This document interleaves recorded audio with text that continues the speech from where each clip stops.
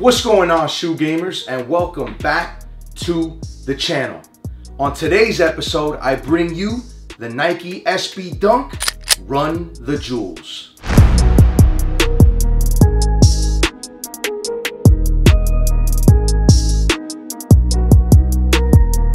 Run it. The sneaker world has always been a part of collaborations, whether it's with brands, artists, movies, you name it. And no other silhouette has more collaborations and the best, in my opinion, than the Nike SB Dunk. So today, I bring to you an unreleased pair of Nike SB Dunks known as the Run the Jewels. Run the Jewels is an American hip hop super duo composed of two members, the Brooklyn based rapper and producer El-P, as well as Atlanta based rapper Killer Mike. What? Hear what I say. We are the business today. Fuck shit is finished today. You might not know who El-P is, but Killer Mike, you can't say you don't know him. Whether it was with the Dungeon Family, collaboration with Outkast on Stankonia, which to me is one of the best albums coming out of the Atlanta area. Not only has he been a part of the music, he's also been a part of the political world and social justice movement. No kidding, why Nike wants to do a collaboration with this influential duo. Doctors of death, killing our patients of breath. We are the pain you can trust. This is not the first time that Nike has made that union with the music world, whether it's the MF Doom, Grateful Dead, Dinosaur Jr., or even the unobtainable Iron Maiden. And who can forget the De La Soul SB Dunk High and Low. So no kidding that Nike wants to keep making these collaborations with musicians. It's a hit. Is Nike trying to tap into that world of the musician collaboration to try to get this shoe to be influential? You bet they are. Dropping in 420? Coincidence? I don't think so. Set to release in skate shops near you. The price? Supposed to be $130. The resale value? Sky's the limit. If this is your first time on the channel, I appreciate you guys coming here, but make sure you hit that subscribe button because we got more videos on the way. The colors, does this not give you Miami Vice vibes? I think it does. And you might say I'm biased to those colors, and I am. But what can I do? This is the colors that they gave us for this shoe. It's got a hairy suede, nubuck, and leather running through the entirety of the shoe. We got our dark blue on the overlay side panels. We also have our lighter blue suede on the side and the toe box. The leather of the shoe, so the tongue is actually leather in a university blue colorway. The SB Dunk tab is baby blue or university blue as well with gold lettering on it. And then it's got that beautiful standout pink Nike swoosh on the side, which is also a smooth suede. The laces of the shoe I thought was something that was pretty unique. They have a baby blue or university blue lace. It seems like it's braided on the lace throughout it. It does come with two alternate laces that I'll get to in a little bit, but this is the one that is going to be coming on your shoe.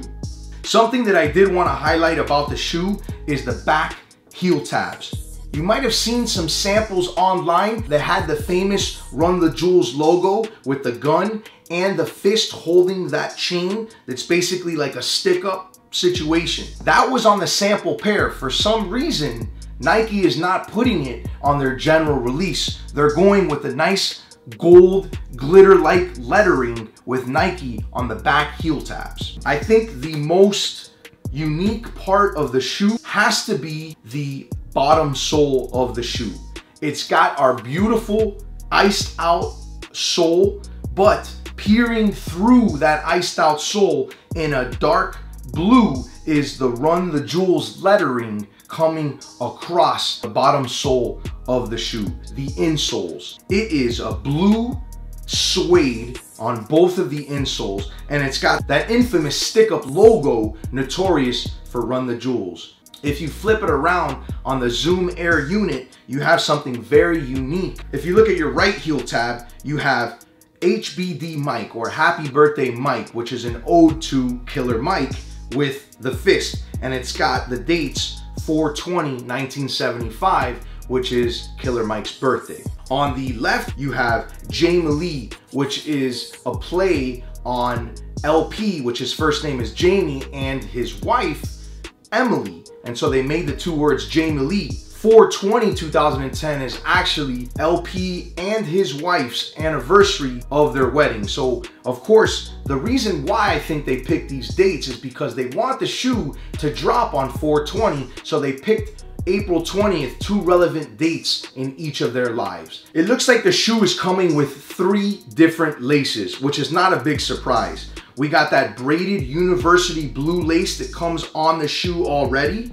We got a darker blue with the university blue tips that plays off the overlays, the suede nubuck overlays on the shoe. And then we have a little bit of a lighter or in, in between blue that also has those baby blue tips on it. So it gives you guys that variety for whatever you're going for. I personally love the colors of the shoe. I think for me, it's playing off that summer vibe. And I think the fact that it's dropping in April makes it cool and it's gonna make it a nice summer shoe to go for. Am I gonna be paying a lot of money for this shoe? Probably not, but it's definitely a shoe that I would be going for. I do love the colors. I do love that they're using blue and I wear a lot of blue. I do like that they put the pink swoosh through it as well. I think that makes it stand out.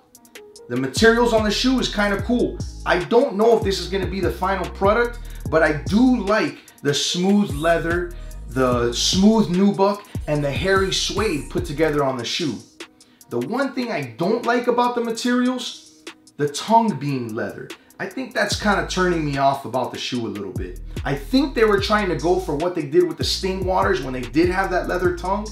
To me, it makes the shoe a little bit too stiff. But if it comes to the materials outside of the leather tongue, the colors of the shoe, I do like the shoe. The bottom sole of the shoe, everybody loves the clear, iced out sole when they first get it. But do you actually like it when you wear the shoe? My answer is no, because it just gets dirty so fast. Think about your Why So Sad dunk. How quickly did that get dirty the first time you wore it? Think about all your Jordan 11s how quick those iced out soles get bad. You have to clean it every single time. So, is it cool to look at outside of the box? Yes. Is it cool that they're running the Run the Jewels logo underneath it so it's peering through? Yes. Are you going to be able to see it every time you wear the shoe? Probably not. So to me, it's a cool part of the shoe, but is it gonna make it cool for the everyday wearer? I don't think so. My favorite part of the shoe has to be the insoles. It is suede. It's got the black and pink Run the Jewels stick up logo on it, which gives it the uniqueness. It gives it its character, as well as the Zoom Air unit ode that they gave to each artist on the bottom of it. Overall, I love the colors of the shoe. I think the materials are cool. I think their play on the materials was a little bit difficult but I do think it's still a wearable shoe and I would pay the retail value for it. Am I gonna pay $400, $500 for it? Probably not, but I would definitely go after this shoe. My overall assessment, I'm gonna go ahead and give the Nike SB Dunk Run the Jewels three out of five stars. All right, to my favorite part, trying the shoes on. So, what I like to tell you guys about this part is definitely if the shoe is true to size, if the fit is different than other SBs or other silhouettes similar to it, what the materials feel like, but most importantly, what they look like on foot. Okay, so the materials are not really making a difference on the shoe fit. It feels good, definitely a true to size. This is actually an eight and a half. I wasn't able to get a size nine on this one. So I can get away with eight and a halves. I do prefer the size nine for my SB dunks just because of the fat tongues. But to be honest, it fits well. So I'm not too upset about that right there.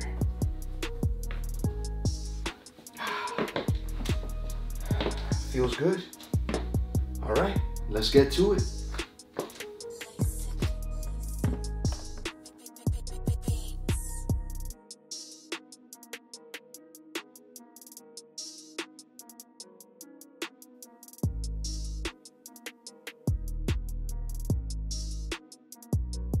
This has been another episode of the Sneaker Exams with Shoe Game MD.